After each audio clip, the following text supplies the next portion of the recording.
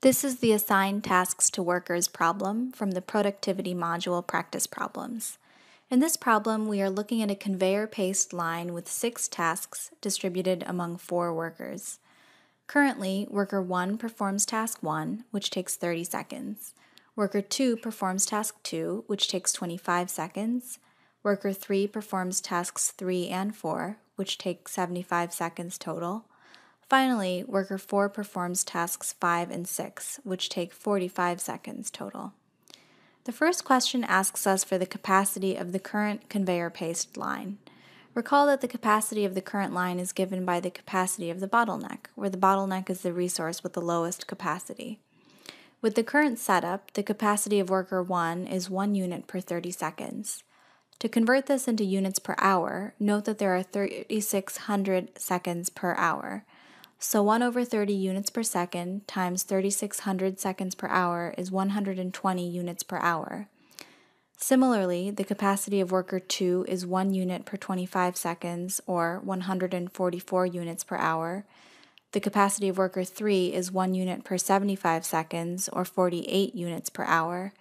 And finally, the capacity of worker 4 is 1 unit per 45 seconds, or 80 units per hour.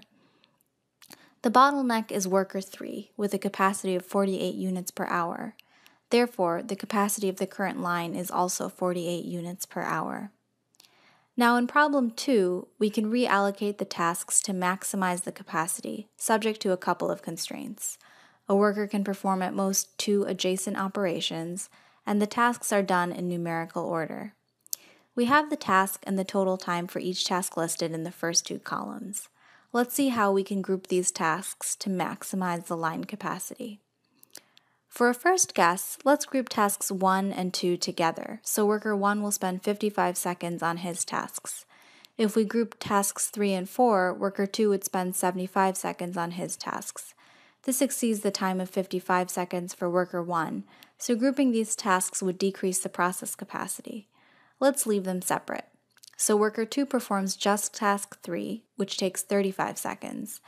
Now we can group tasks 4 and 5 together because they sum to 55 seconds. So worker 3 spends 55 seconds and worker 4 spends 30 seconds. Alternately, we could assign just task 4 to worker 3 and group tasks 5 and 6 together. In both of these cases, the slowest resources would have a capacity of 1 unit per 55 seconds. Thus, the process capacity for these allocations is 1 unit per 55 seconds, or 65.5 units per hour. Can we do any better? Well, if we try to group tasks 2 and 3 together, then that worker would take 60 seconds per unit, which is slower than the previous scenario.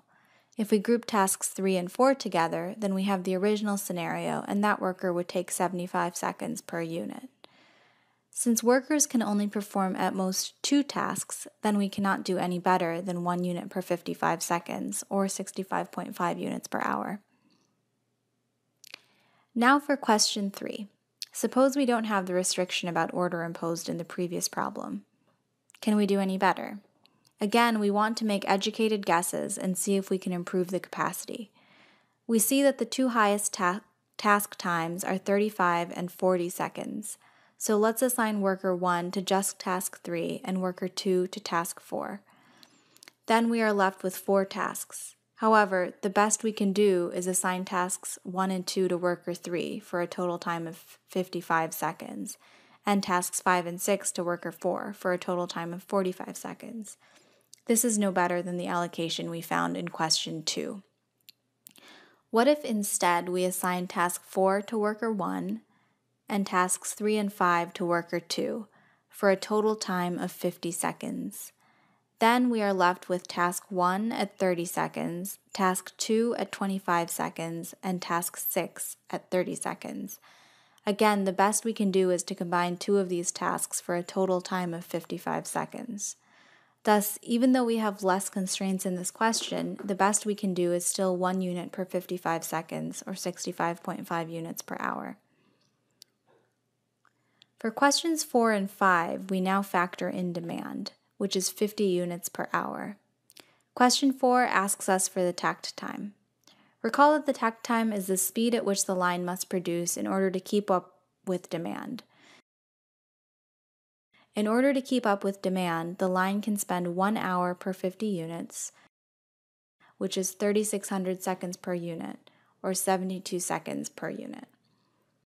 Finally, question 5 asks us for the target manpower. Recall this is simply labor content divided by takt time. Labor content is the sum of time to complete all six tasks, which is 175 seconds, and from above, takt time is 72 seconds. 175 divided by 72 is 2.43. Rounding up, this means we need three workers.